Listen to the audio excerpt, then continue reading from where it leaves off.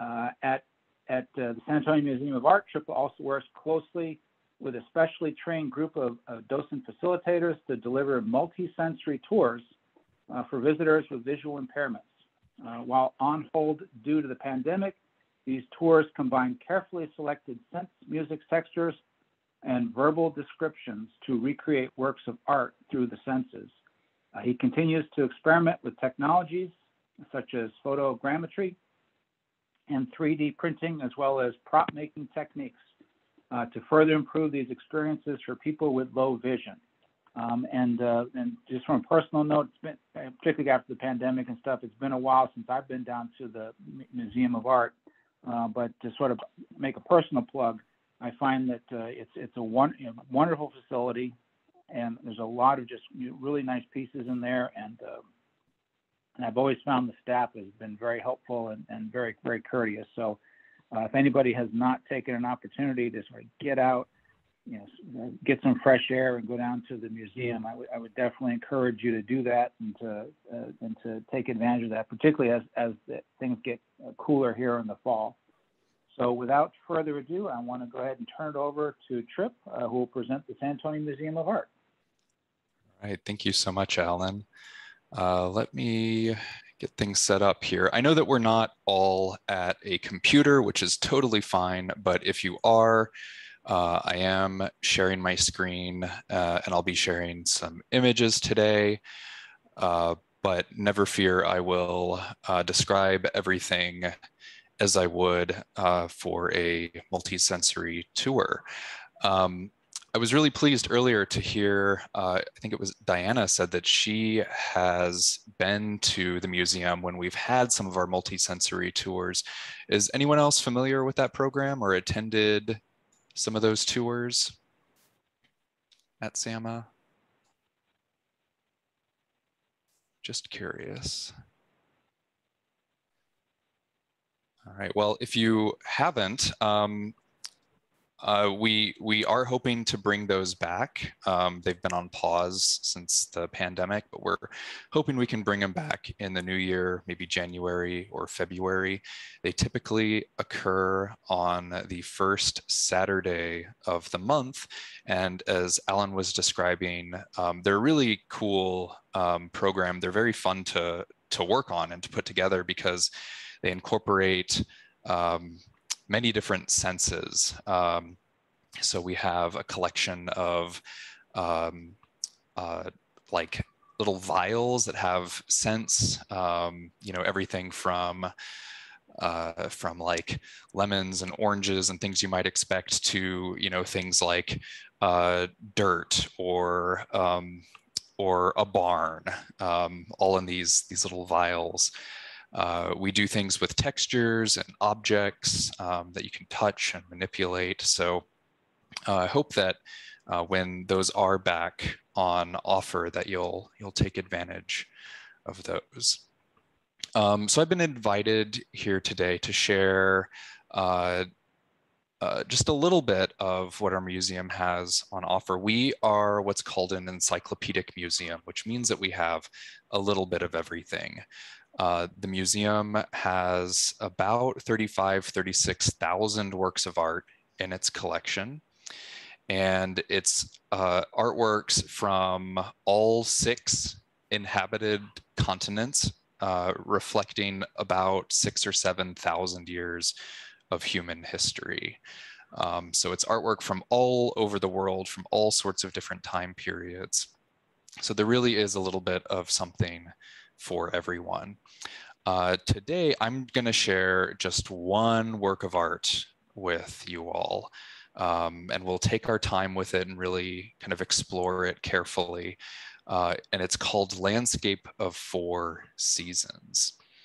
Um, before we go any further, I do want to encourage your participation. If at any point you have any questions or comments, or you'd like to you know, ask kind of follow-up questions or, or seek additional details or clarification, uh, please um, don't hesitate to interrupt me even. Um, I'm, I'm happy to, uh, to pause and answer any questions or explore something further. Um, now for those of us with the screen, I do want to highlight my cursor. If you're at a computer and you can see my screen, can you see the red dot?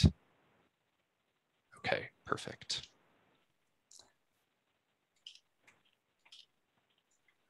All right. So the work of art that we're going to be looking at today is, uh, as I mentioned, it's called Landscape of Four Seasons. And I'm going to start with the overall picture, a little bit of background about this piece, and then we'll kind of zoom in and I'll give a verbal description um, using as much detail as possible so that we can, we can kind of build a picture of it in our minds. So this is a large rectangular uh, work of art. It is approximately uh, 12 feet long or 12 feet wide and six feet tall. So this is a this is a, a big uh, work of art. And it is a folding screen. It's actually two separate screens that are that are put together uh, to make one large image.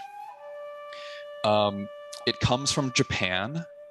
We don't actually have a date for it. Um, it's not it's not certain when this was when this was made. If you ask me, it's probably somewhere between the 1600s and the early 1900s, but we're we're not sure. So, but it's probably a few hundred years old. Um, and you can tell that from the appearance of the piece because there are some places uh, on the the work of art that have been scuffed a little bit. Um, some some dings and scratches kind of on the the border of the screen. Um, and the the overall picture uh, that's on it that we'll explore in just a moment has has kind of yellowed a little bit over the ages, which is a telltale sign of um, uh, that it's a relatively old work of art. Um, it is uh, it's a painting uh, but it's not your normal painting with oils or acrylics. It's an ink wash painting. So uh, what this means is, is the artist has um, has used ink of black ink of various intensities. Sometimes the ink is very thick and very dark in places, and in other places it's very, very thin and watery and light. Um, so you get just a hint of gray or just a hint of brown in those areas. It is on paper, and um, this this means that um, these kinds of works of art are very challenging in a way uh, because it gives you no room for error. The, the paper is very thin and absorbent, and it it'll suck up the ink right away. So there's there's no going back once you put the brush to the paper. Um, so works like these uh, with the um, kind of the beautiful variations in tone from dark black to light gray or brown. Um, these are really the work of a master. Screens like this were commonly used in households. They're objects of daily life. Um, Japanese houses in uh, the pre-modern era, of course, did not have air conditioning, um, but they had these sliding doors kind of around the um, all four sides of the house. And so, depending on the time of day or the season, uh, which way the wind was blowing, you could open up some of those doors on one side of the house to let the breeze in, keep things nice and cool. Um, but maybe you didn't want you, you didn't want the full force of the wind coming through, or maybe you were working on, um, you know, reading a book or doing your own painting or something. You didn't want things blowing around your house, so you could put up screens, folding screens like this, and that would help block some of the wind where you didn't want it, but you would still get the circulation, the fresh air.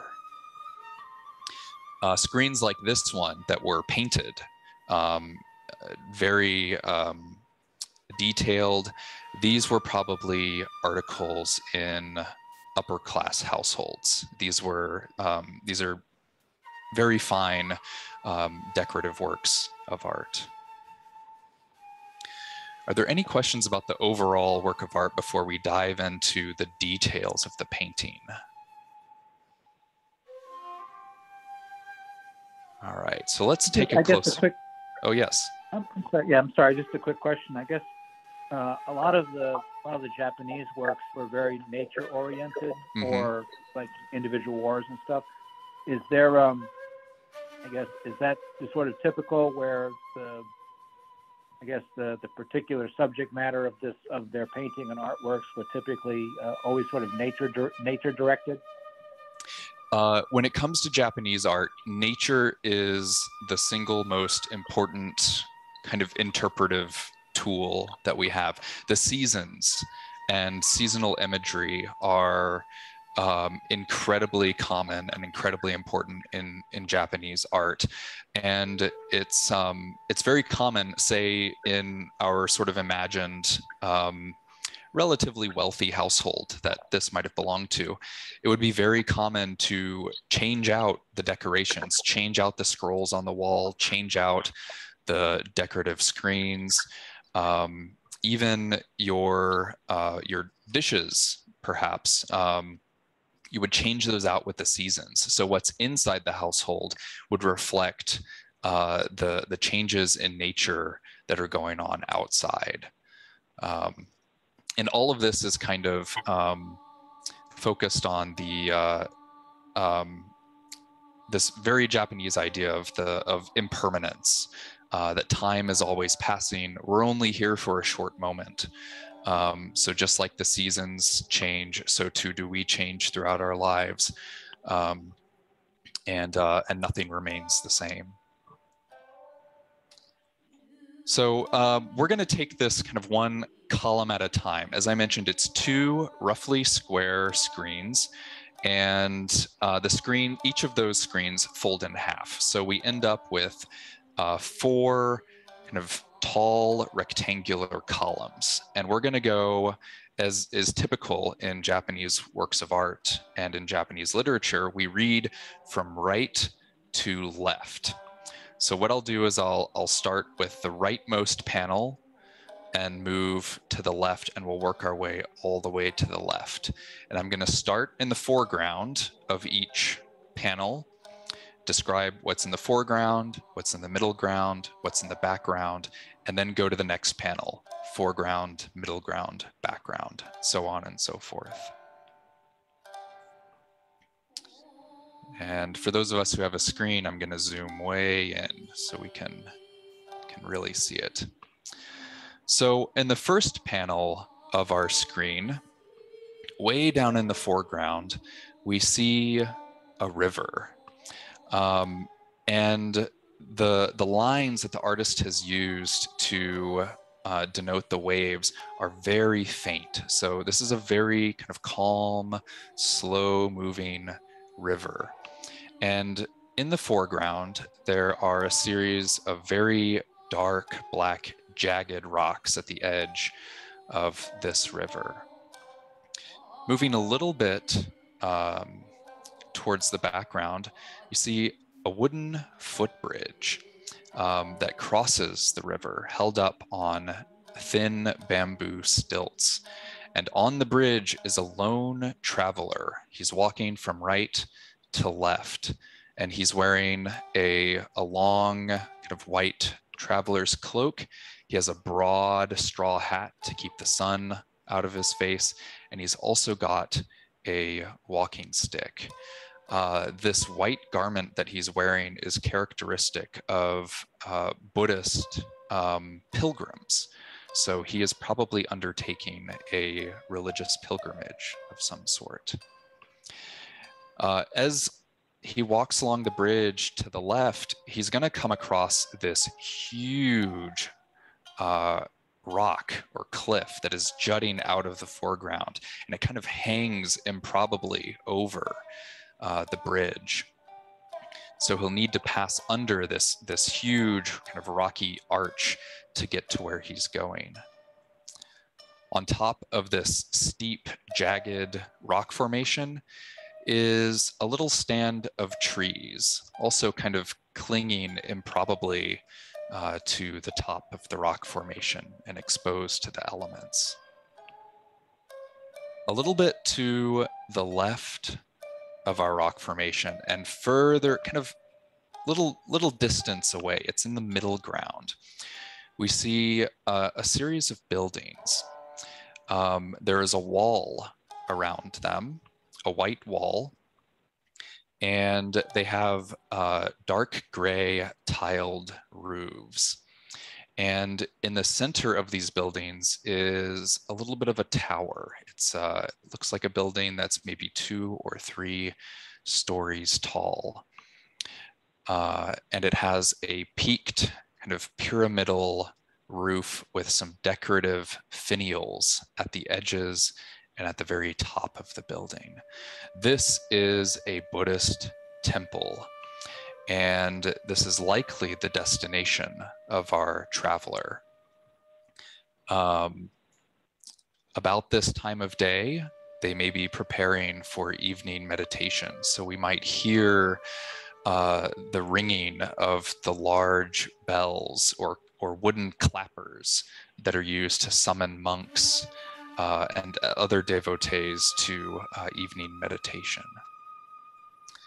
So we move further into the background. Uh, we see um, kind of a thick layer of mist, of fog. And just barely through the fog, we can see pine trees standing way off in the distance. And as we move back and up, uh, we see massive mountains in the background. There's one that's closer to us, topped with with bristly pine trees. And then even further in the distance, almost completely encircled in mist, is uh, is a large jagged mountain, almost completely obscured by the mist and the fog, um, pointing almost like a, an index finger straight to the heavens. We're going to move to the second panel, back to the foreground. Uh, on the near side of the river that I mentioned earlier, we've got a bit of a hill and uh, right in the foreground and growing out of the hill, we have more kind of gnarled trees. There's a pine tree uh, growing up and to the left. And then there is what looks to me like either a plum tree or a cherry tree that's thick, jagged trunk growing nearly straight up and with little white or pink flowers weighing down all of the branches.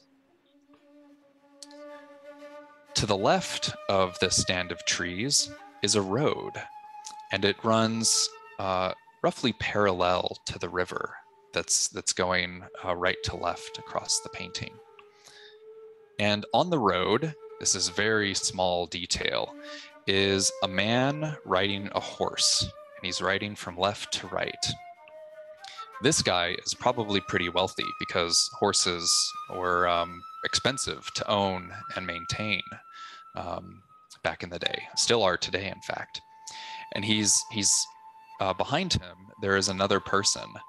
Um, again, this is a very small detail. It's not clear if he's an attendant, maybe following along behind, or maybe he's another traveler that uh, this man on the horse is kind of leaving behind in the dust. As we move further towards the, the middle ground, we see two boats on the river. One is smaller, like a canoe, and one is a little bit bigger, um, like almost like a river raft. And on the far side of the shore, uh, the opposite side of the river from our perspective, is uh, another series of jagged rocks.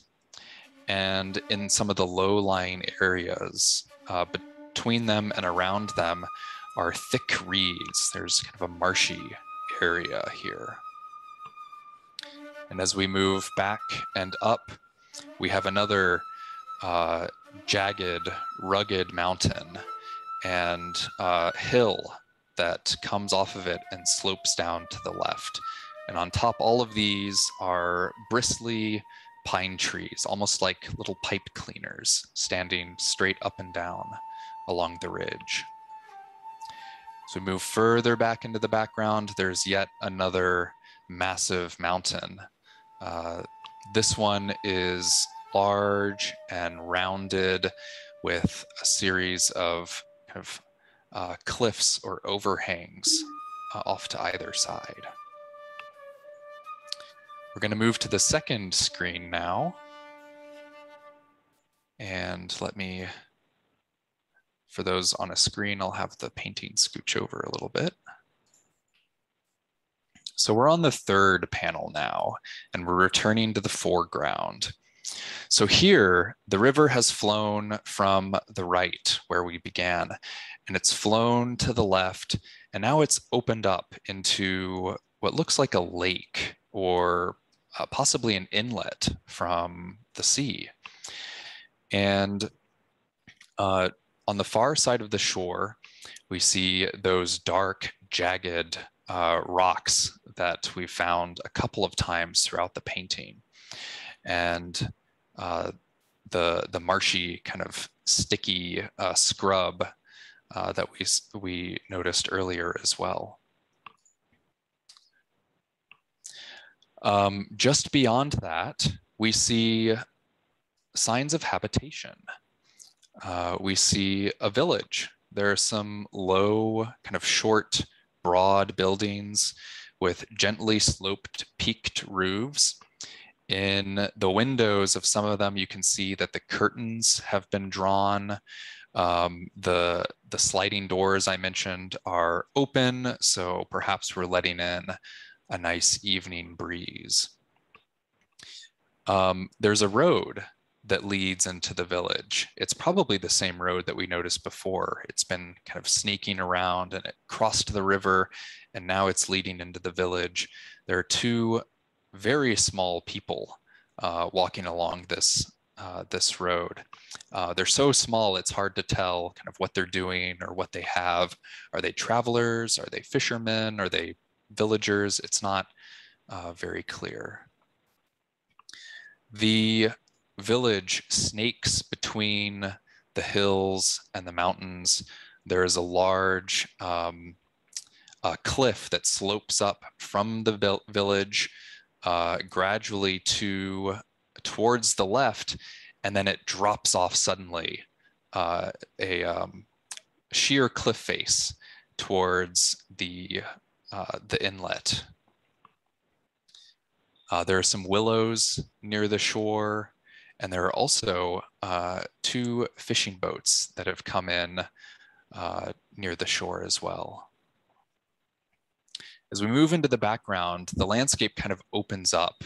It becomes a little bit less jagged. There are still some gently sloping hills uh, topped with those pine trees, but the landscape is now broader rather than vertical. And as we move up, we see nothing but mist and overcast skies in the background.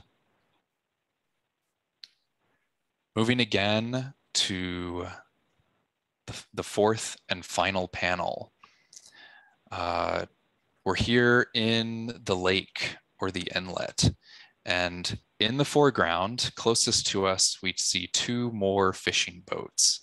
And they have their masts high and their sails are unfurled and it looks like they're full of the breeze, which is a little unusual because they're the surface of this lake or inlet to the sea is glass smooth. There's barely a wave to be seen. So we move further away. We see another boat um, this one does not have its sails unfurled. Perhaps the fisherman on the boat is finishing up his work for the day, getting one last cast of his net in before he heads home.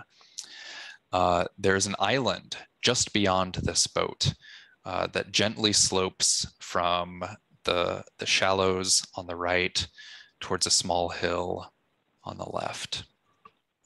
Beyond this island is another inlet and way off in the background, we see a series of fishing boats heading in to the shore where uh, far, far away in the background, nestled in uh, the, the sloping hills of the background is another little village, just a couple of houses, maybe two or three, uh, nestled in a stand of small pine trees. Further off in the background, miles and miles away, we can see just peeking through the mist is a jagged mountain. And to the right of the mountain, rising up over the horizon and out, peeking through the mist, is the subtle suggestion of a pure white full moon uh, rising over the landscape. So that is our work of art. Are there any questions or comments about it? Um, any?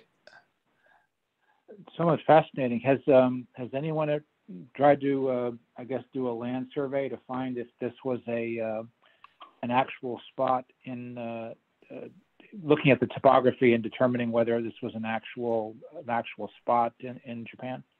That's a really interesting question. Um, so this particular work of art, this landscape of four seasons, is part of a um, like a tradition of painting. There are there are other paintings like this one uh, that depict these um, these kind of misty mountainous landscapes, the moon rising and the boats coming in. Um, this comes from a tradition of uh, landscape painting in this this type from China.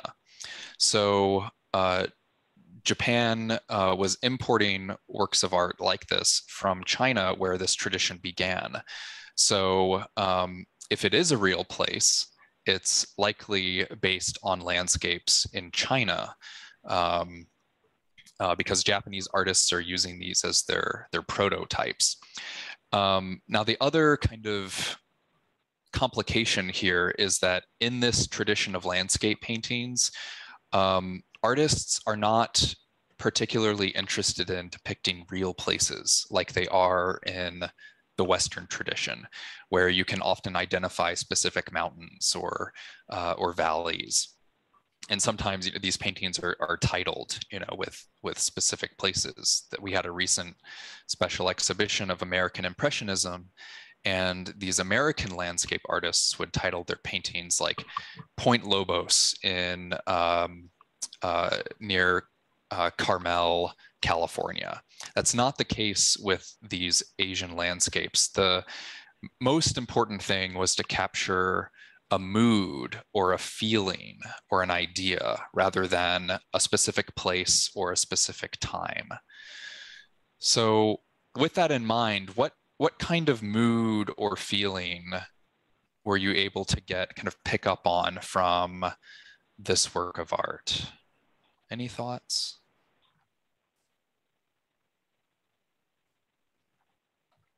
To me, it's a very peaceful scene very peaceful. What what about it was was kind of contributing for you to that that sense of peacefulness? Well, just kind of the whole thing, the water and like someone you said someone probably going on a pilgrimage and it mm-hmm. just seems it just seemed like a very serene, very peaceful scene. Yeah, um, the one of the things for me that that I, I, think I would agree with you that that gets that across is is the water. Um, we have this river that is it seems to be moving from right to left into this uh, this larger body of water, and there's hardly a wave to be seen. There are some very very faint suggestions of um, with with really thin ink lines um, mm-hmm. that suggests that it's you know it's water, but it's it's like it's hardly moving at all. It's very calm and placid. Oh, very still. Mm-hmm. Mm-hmm. Um, no, anyone like else? Any other impressions? Or Diana, go ahead. I, I didn't mean to interrupt you. No, I'm sorry. I didn't mean to interrupt you. I just, I just really like the way that you described it because I'm, I'm, not seeing it at all. So mm-hmm. I really appreciate the way you were able to describe it, and the music in the background. I think that really added to it. Oh, good. I'm glad. Yeah, I'll, I'll comment on the music here in a second, uh, but I'm glad you you noticed that as well. Um, any other impressions or, or feelings uh, that Um, we I- were? Yeah. I, I just had a quick question. I, I, I heard all the uh, descriptions of the uh, landscape and stuff, but I didn't actually hear if you actually mentioned what the seasons were in each one. So I'm assuming it's spring, summer, fall, winter, going right to left. Well, that's the weird thing um, th- that I think kind of about this is because it's not um, the it's a oops I'm sorry it's a it's a contiguous landscape. Um, and so it's the I don't think that the divisions are that stark um, per se. You know, like one panel is spring, one is summer, one is fall. I think they're kind of the the references to the seasons are kind of mixed up throughout the painting. So if I go uh, back a little bit, um, I mentioned in our second panel, it looked like we had either a plum tree or a cherry tree with its uh, strong, thick uh, trunk and the branches are heavy laden with these white or pink flowers. It's it's hard to tell if they're white or pink because the artist is not really using any color. It's just black or brown ink. Um, the cherry tree in particular is a dead giveaway that it's spring. Um, the cherry trees in Japan, and we actually have some here in the US as well, namely in uh, uh, Washington, DC. Um, Japan gifted some cherry trees to the United States government. Uh, they bloom with these thick, brilliant, uh, or thick, like kind of soft pink blossoms for only about two weeks out of the entire year around March. Um, so uh, these become very closely associated with springtime in Japanese culture. The pine trees are usually a reference to, and we have pine trees all over the place. Kind of, I mentioned them standing like little uh, little uh, brush um, uh, brush. uh, what's the um, like bottle brushes on the uh, on the ridges. Uh, these are um, the pine trees are one of the three friends of winter. It's one of the uh, the emblems of the winter time. You know, although things get dark, things get bleaker, uh, life becomes harder in the winter, colder, more difficult. The pine tree is always green. It always endures. Uh, so this is a becomes a symbol of human fortitude, human resilience, and a, a symbol of the winter. In the third panel, we um, kind of I, I think I forgot to mention these actually, but just beyond the village that's on the shores of the lake are uh, what look to me like some willow trees. Uh, they have they kind of uh, grow up and out over the water, and they have these very fine uh, hair-like uh, branches, and they they hang down towards the water. Uh, willows are often associated with the summer, um, and um, the fall. I have not, for the life of me, been able to find uh, a reference to the fall. I'm sure it's here someplace, but um, I just haven't picked up on it yet. So, so there there are these nods to the four seasons, and it's like they're all kind of coexisting at the same time. Um, Larry, I see that you've got your hand up. Yes. First of all, great, great job of describing. That's so much detail, and you really handled it very well. So Thank you. thank you, congratulations. I- have an observation that is kind of contrary to uh, the way to look at these um, windows. You know, it it seems to me that if you move from left to right, you are actually looking at a first of all the the larger uh, panorama, and then as you're moving to the right, it gets more and more specific Mm, until you're finally at the point where you see the uh, gentleman, I guess, uh, who is going to the Buddhist temple for for prayer time. So mm-hmm.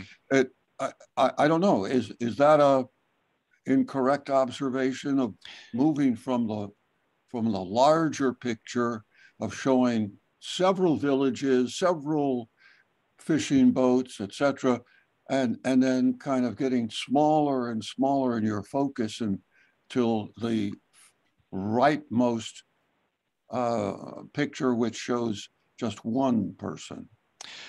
No, I don't. I don't think so at all. the The reason that I personally went from right to left is because uh, this is how um, narrative scenes in Japanese works of art and how um, literature is is written in Japan. It, it, goes from right to left, kind of the opposite direction right. what we're accustomed to.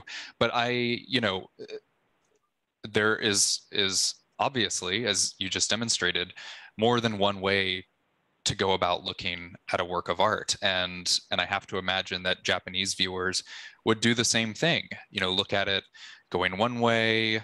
You know imagine that you you live in a house where this is displayed. Maybe you're you're walking through a room and you walk past it going right to left. And then you go the other direction on your way back through the house from the left to the right. You're going to you're going to view it in in different ways and look at these panels in different sequences. So i think that's a really interesting observation the that idea from like the macro where we have the many villages the broad landscape the even references to the heavens the celestial bodies you know way out there. And it it becomes kind of smaller and more intimate as you get closer mm-hmm. to the left. You have that buddhist temple and it's uh, you know it, you can even think kind of metaphorically the, the focus of Buddhist teaching on inward reflection and the soul pilgrim going on this, this journey of, um, of discovering the self. Um, it goes from cosmic to internal. Um, and then if you go the other way, it goes from internal to cosmic. So um, yeah, I, I mean, that's a, a really great point that I think different things can kind of come out of the work just depending on how you look at it, how you interact with it, which way you move. Has do you have any other paintings by the same artist, and do they kind of follow a similar uh, sequence? Uh, well, we don't know who this artist is. Oh. Um, this is it's it's quite unusual that this hasn't been signed. Um, normally, Japanese and Chinese artists, uh, painters, poets uh, would sign their work with a red stamp uh, that would uh, um, uh, it would it would give either their given name or their artist's name. We don't have that in this case. There there are no inscriptions whatsoever, which is uh, a, a little bit unusual. Um, so we're not we're not 100% sure who the artist is and um, what other works we could compare it to. But we do have other say screens in in our collection. Um, they're just across the gallery from this one if you were to to go to the museum is a um, uh, is a multi-panel screen depicting scenes from the 11th century novel, uh, The Tale of Genji from Japan. And these are also read um, kind of in, in, the sequence of events in the novel, roughly right to left. Um, uh, they're actually two, two separate screens that depict um, different episodes from the Tale of Genji, and they're, they're kind of the same way. So um, but there, there are other screens. Um, we have some beautiful screens now in the Japanese gallery depicting those um, cherry trees with their, their pale pink blossoms. And those, um, those are kind of agnostic about how you approach them. It, it doesn't really matter if you go from right to left or top to bottom or bottom to top or, or the other way around, backwards, forwards. Um, it's uh, in, in those instances, uh, it's just kind of pure natural imagery and um, and there's not necessarily like a narrative there. Mm -hmm. Thank you. Sure. Any other? I know that we've we've gone a, a bit longer than I think we anticipated, but you all had some great questions and and comments. Were there, there any final reflections or, or, questions, comments about this work of art? This may be something that's sort of related to maybe Japanese art. Um, I guess the the idea of interpretation. Um, I mean, from a like a Western standpoint, depending well, depending upon the, when we're talking about, is sometimes they um, they they craft their art and with a specific idea to, to communicate. Others would craft it and and uh, want the observer to interpret it on their own. Um, so it, what matters is what you interpret, how you interpret it.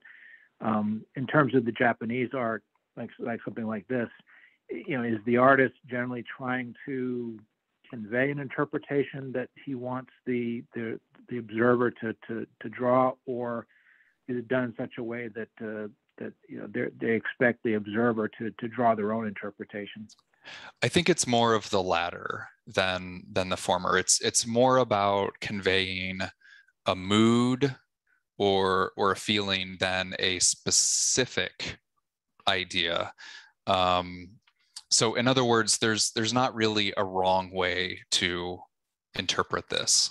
Um, as we we kind of explored uh, following Larry's comment, um, the the key thing uh, behind works of art like this is is the affective element. The you know how do you as a viewer respond to this painting? How do you feel when you look at it? Do you feel calm? Do you feel melancholy? Do you feel, um, uh, um, do you feel like you want to go on a Buddhist pilgrimage? You know, um, there there are many ways that you can um, react to a piece a piece like this, um, and uh, in fact, in, in a lot of Asian works of art, um, you see this demonstrated very vividly, uh, particularly on things like hand scrolls, these really long kind of painted um, scrolls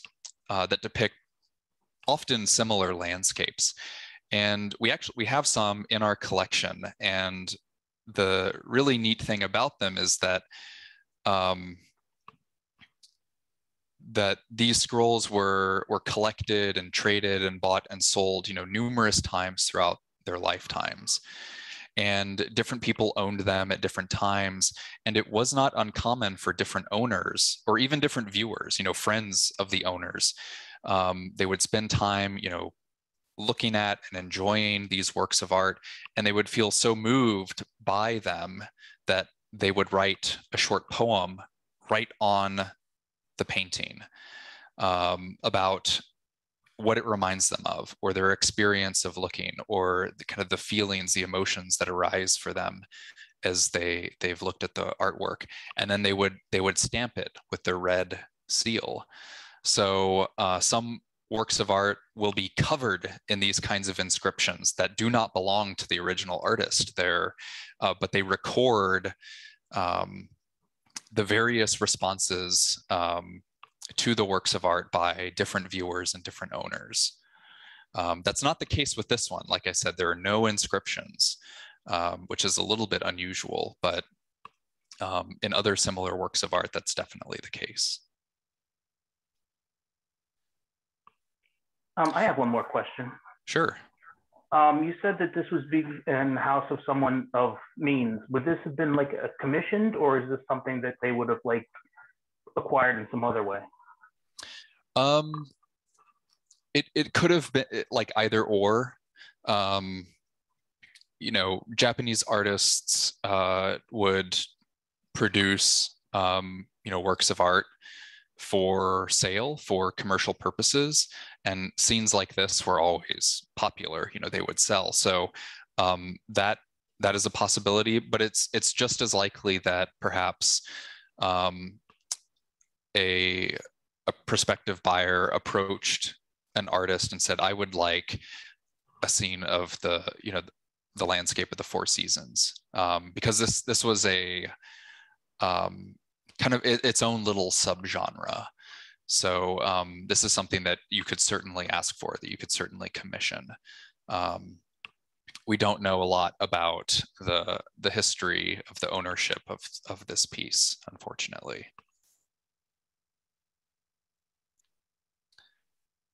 All right. The um, one final thing is uh, some of you may have noticed the music kind of playing softly in the background. Uh, there were two instruments that you you might have heard. Uh, one was a bamboo flute, a traditional Japanese bamboo flute called the shakuhachi. Um, it's made from a length of uh, bamboo, um, and in fact, the um, uh, if you were to see or feel a shakuhachi and you, you ran your uh, hands along the length of it, you would actually feel the little bumps, the, the nodules where the bamboo uh, segments begin and end. So it's, um, it's, a, it's like a piece of bamboo straight from the forest, chopped to a certain length. Um, there are only five holes drilled into it, so you get a um, a minor pentatonic scale of just five notes. Um, but you can get a, a wide range of, um, of pitches depending on how you blow across the end of it, which you may have heard uh, in the music.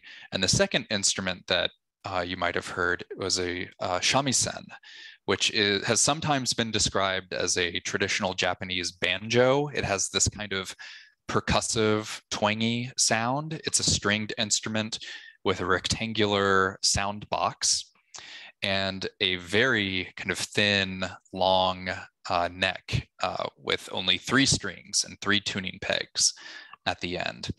And it's played with a um, very broad kind of triangular plectrum or pick that's used to uh, slap and uh, pick the strings and the surface of the shamisen. So you get this um, the not only the sound of the strings, but also a, a kind of percussion sound as this is um, the plectrum is is manipulated against the surface of the shamisen. So that too is a uh, traditional Japanese instrument.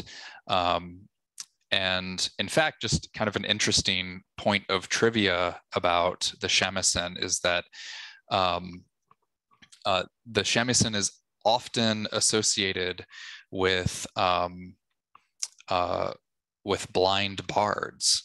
Um, there, there was a um, uh, with a belief. Uh, there was a belief that um, if uh, if someone was born without sight, lost their sight, that they uh, could become particularly attuned to this kind of instrument. And so the shamisen was frequently practiced by, um, by people with low or limited vision. They might travel from place to place and, and play uh, this instrument for people. Um, so that's that's a little bit of what we try to do with our multisensory tours. Now, um, we've only been able to to use kind of our, our mind's eye and our um, our hearing. We we often try to integrate music and these ekphrastic descriptions, as well as um, when we're in person, of course, smells and, and textures and touch objects. So when we do um, launch those again, we hope that you'll um, you'll join us for those for those programs. Um, but it's been a real pleasure uh, being invited to share uh, this work of art, a little little bit of our museum with all of you. Uh, you can find out more about us at samuseum.org